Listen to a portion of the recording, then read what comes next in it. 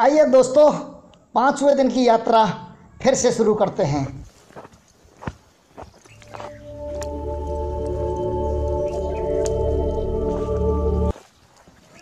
इन बिहाड़ों में घूमने में बड़ा मज़ा आता है, लेकिन डर भी बहुत लगता है। पता नहीं कब कौन सा बड़ा जंगली जानवर सामने आ जाए। और दोस्तों, इस वीडियो की एडिटिंग में यदि कुछ गलतियाँ हैं तो प्लीज़ कमेंट्स बॉक्स में ज़रूर लिखें।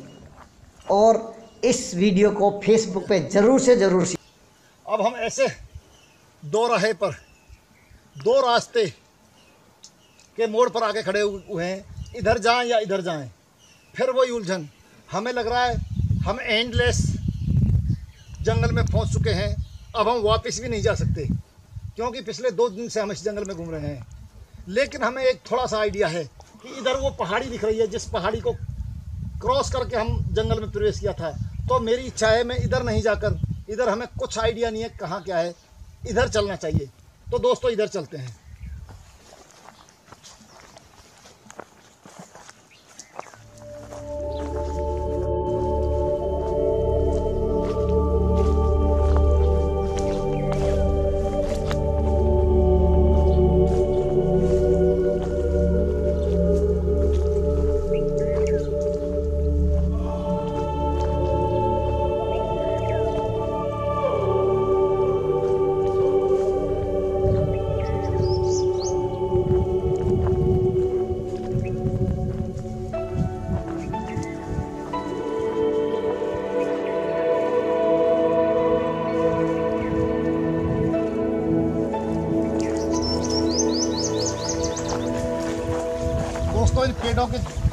अगर रूट्स को देखते हैं तो क्या मज़ेदार। बनावट रहती है ज़मीन के अंदर पेड़ के जो ट्रीज हैं, जो पेड़ हैं, उनकी रूट्स कितनी मज़ेदार अपने आप को बनाए रखती हैं। इनके अंदर बहुत सारे होल्स बने हुए हैं, जिसमें स्नेक हो सकता है, खतरनाक।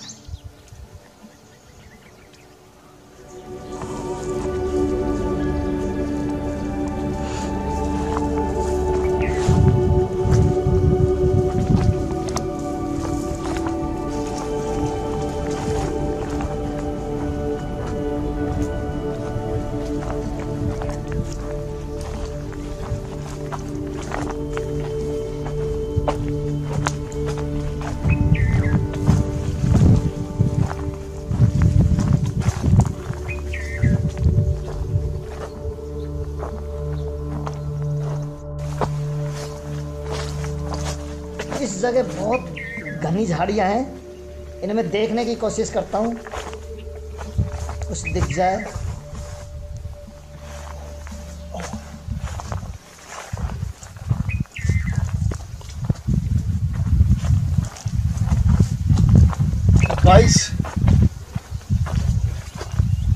मैं इस जंगल में दस दिन गुजारने के लिए आया था।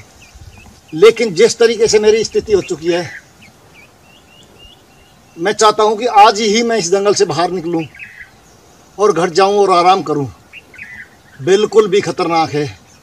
ये मालूम नहीं पड़ता कि इसमें कि किधर से निकलना है, कहाँ जाना है, किधर हमारा मंजिल है। आओ चलते हैं। इधर कुछ पक्षी हैं।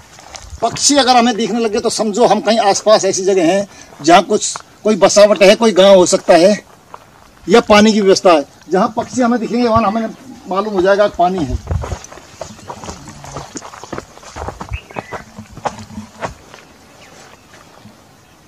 अब हमें गहरी खाई जो है, नाले जो है यहाँ पे, इससे निकलने का एक रास्ता मिला है। मैं सोचता हूँ ऊपर जाके देखते हैं।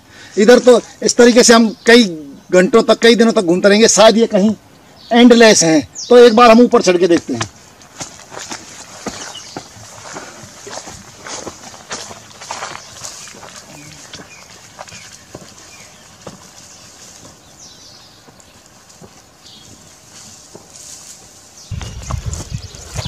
दोस्तों फिर और एक गहरा रास्ता यहाँ तो यही पियाड़ है चारों तरफ़ चारों तरफ़ किधर भी देखो यही दिखेंगे आपको इधर चले जाओ इधर चले जाओ मुझे लग रहा है यस अब कुछ नज़र आया।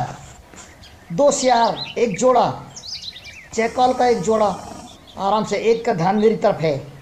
जो नर है, वो मुझे घूर रहा है। और मादा का अभी तक मेरी तरफ़ ध्यान नहीं है। यस अब मादा ने भी मुझे देखा और मादा भयभीत दिख रही है। दोस्तों, माता मुझे देख के शायद भग जाएगी। ये देखो, लेकिन ये जो नर है, बिल्कुल मुझसे भयभीत नहीं और मुझे डराने की कोशिश कर रहा है। मात्र पचास मीटर की दूरी, लेकिन कुछ मिला देखने को। ये मेरा कुछ नहीं कर सकता। इससे मैं ज़्यादा मज़बूत हूँ। ना ये मुझे हानि पहुँचा सकता, लेकिन मैं इसे हानि पहुँचा सकता हूँ, और इसको मुझसे कोई भय नहीं। हिम्मत, लेकिन उसकी हिम्मत होनी भी चाहिए, क्योंकि मैं उसके एरिया में ये देखो, उसके बिना कोई डर के आराम से बैठ चुका है।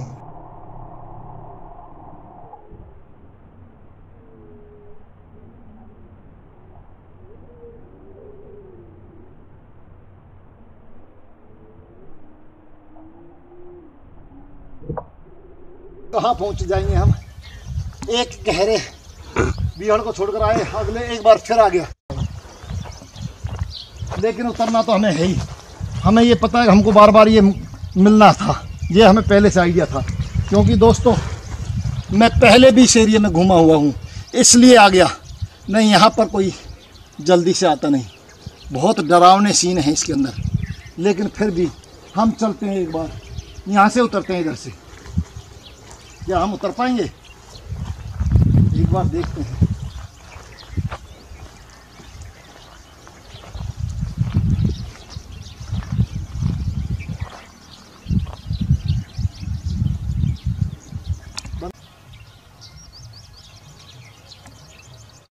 नीचे जाने के लिए मुझे कुछ तो करना होगा, क्योंकि हर जगह खतरा है। लेकिन मैं यहाँ से उतरने की कोशिश करता हूँ। यहाँ हो सकता है मैं गिर भी सकता हूँ, चोट भी लग सकती है, लेकिन मैं खतरों से खेलता हूँ अगर हम फिसलते हैं तो फिर फिसलेंगे। बड़े बड़े ये पेड़ सूखा मुझे ज़रूर रोक लेगा यदि मैं गिरता हूँ तो। वाह, चुगिया, कांटा, खतरनाक खेल, जो मैं खेल रहा हूँ। वाह, अब मैं इधर से ही हो। हो हो हो हो हो ओ ओ बहुत बढ़िया बहुत बढ़िया बहुत बढ़िया। अब मैं यहाँ से जंप लगा सकता हूँ। यहाँ बहुत बड़े बड़े कांटे हैं, दोस्तों। ओफ जय भोलेनाथ।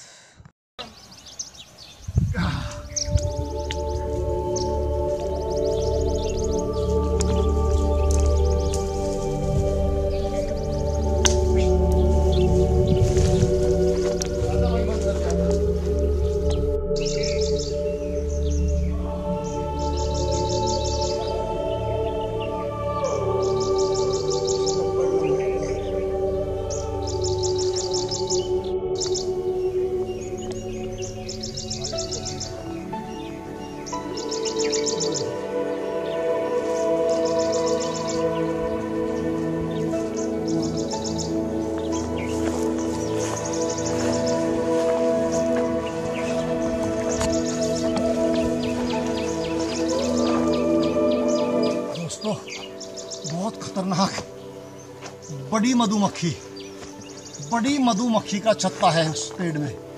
अब हमें यहाँ से जल्दी भग लेना चाहिए, नहीं तो ये कभी भी हम पर आक्रमण कर सकते हैं। उधर, मैं आपको दिखाता हूँ। बहुत खतरनाक है।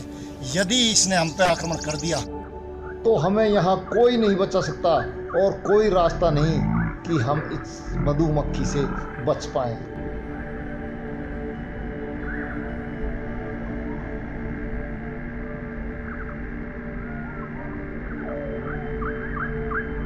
यहाँ से जल्दी निकल लेना चाहिए। चलते हैं अब यहाँ से। इस एरिया को छोड़ देते हैं। ये कई किलोमीटर दूर तक भी आक्रमण करने की दम रखती है और यहाँ से चल ही देना चाहिए। दोस्तों, अब मैं उस जगह आके बैठ गया हूँ। अब मुझे ये मालूम नहीं कि जाना कहाँ है। लेकिन एक यहाँ का लोकल जगराम नाम का एक दोस्त है मेरा। वो मुझे पानी देने के लिए यहीं कहीं आएगा। तो मैं चाहता हूँ कि वो यहीं आ जाएगा और मेरे पास अब पानी भी ख़त्म हो चुका है।